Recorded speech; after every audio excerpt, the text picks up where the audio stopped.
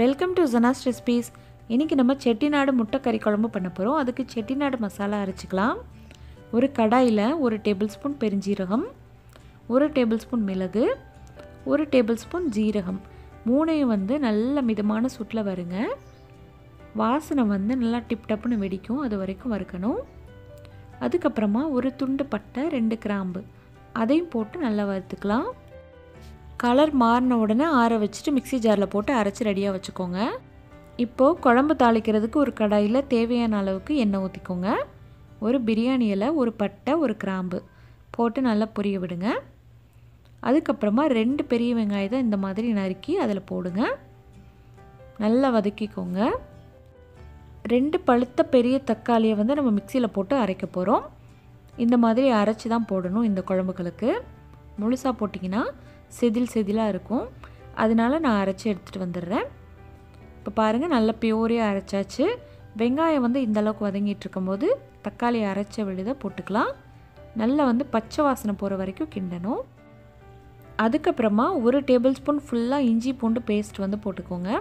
நான் வந்து இஞ்சி பூண்டு நல்லா இடித்து வச்சுருக்கேன் அதை போட்டுக்கலாம். இதோடைய பச்சை வாசனை போகிற வரைக்கும் நல்லா வதக்கணும். தக்காளி வந்து இந்த மாதிரி அரைச்சி போட்டிங்கன்னா உங்களுக்கு நல்ல கிரேவி கிடைக்கும். இஞ்சி பூண்டு பச்சை வாசனை போனதுக்கப்புறமா மசாலா சேர்த்துக்கலாம். அரை டேபிள் ஸ்பூன் மஞ்சள் தூள் சேருங்க. ஒரு டேபிள் ஸ்பூன் மிளகாய் தூள் சேருங்க உங்கள் காரத்துக்கு ஏற்ற மாதிரி. ரெண்டு டேபிள் ஸ்பூன் மல்லித்தூள் சேருங்க. அதுக்கப்புறமா ஒரு அரை டேபிள் ஸ்பூன் மட்டும் கரம் மசாலா சேர்க்கலாம். மல்லித்தூள் வந்து நம்ம சேனலில் இருக்குது அதிலே வந்து நாங்கள் எல்லா மசாலாவும் போட்டு அரைச்சிருப்போம். அதனால் வேணும்னா பார்த்துக்கோங்க உப்பு வந்து ஒரு டேபிள் ஸ்பூன் ஃபுல்லாக சேர்த்துக்கலாம். மசாலாவுடைய பச்சை வாசனை போகிற வரைக்கும் வதக்கிக்கோங்க.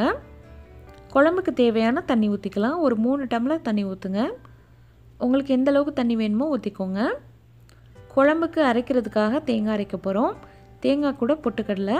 உங்களுக்கு வேணும்னா முந்திரி பருப்பு கூட அரைச்சிக்கோங்க. இது வந்து செட்டிநாடு மசாலா நம்ம ஏற்கனவே அரைச்சி வச்சது. ஒரு டேபிள் ஸ்பூன் ஃபுல்லாக போடுங்க. குழம்பு நல்லா கொதிச்சிட்ருக்கு இப்போ தேங்காய் அரைச்சி வச்சுருந்ததை சேர்த்துக்கலாம். தேங்காய் பால் கூட சேர்த்துக்கோங்க. ஒன்றும் பிரச்சனை இல்லை.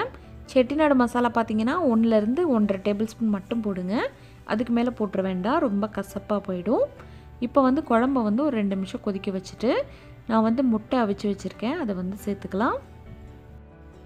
நம்ம சேர்த்த செட்டிநாடு மசாலாவுடைய பச்சை வாசனைலாம் போனதுக்கப்புறம் தான் முட்டை சேர்க்கணும். கடைசியாக தான் முட்டை சேர்க்கணும். இப்போ பார்த்தீங்கன்னா நல்லா திக்கான கிரேவியாக இருக்குது இது வந்து நான் சாதத்துக்கு தான் செஞ்சிட்ருக்கேன். இன்னும் இதை டிஃபன்களுக்கெலாம் வச்சு சாப்பிட்லாங்க. சப்பாத்தி பரோட்டா எல்லாத்து கூட வச்சு சாப்பிட்லாம். கடைசியாக கொத்தமல்லி தூவிட்டு ஆஃப் பண்ணிக்கோங்க. ரொம்ப ரொம்ப அருமையான செட்டிநாடு முட்டை மசாலா ரெடி ஆயிடுச்சு. இந்த வீடியோ பிடிச்சிருந்தா லைக் பண்ணி ஷேர் பண்ணுங்கள் மறக்காமல் சப்ஸ்கிரைப் பண்ணுங்கள் தேங்க்யூ